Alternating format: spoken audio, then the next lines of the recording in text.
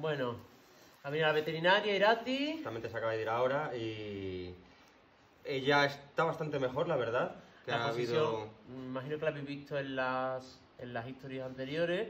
La, eh, la posición tanto de sus manos como de sus pies ahora estaba bien, estaba apoyando bien, estaba recto. Y le funciona mejor el brazo derecho, que ese es el problema que tenía. Y parece que no, no hay ninguna fractura y que esto es un problema seguramente muscular.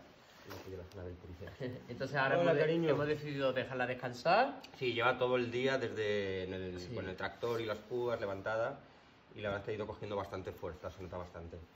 Y bueno, que la bueno. verdad que incluso ahora cuando del tractor le hemos quitado el, el sostén, eh, eh, se, se mantenía, de, se mantenía no se pie, no, no se quería tumbar. Así que bueno, muy bien. Mañana será otro día. Vamos a hacer turno esta noche para ir controlando que todo esté bien. Como veis, todo el equipo aquí dándolo todo como siempre. Así que nada, Sí, muchas gracias.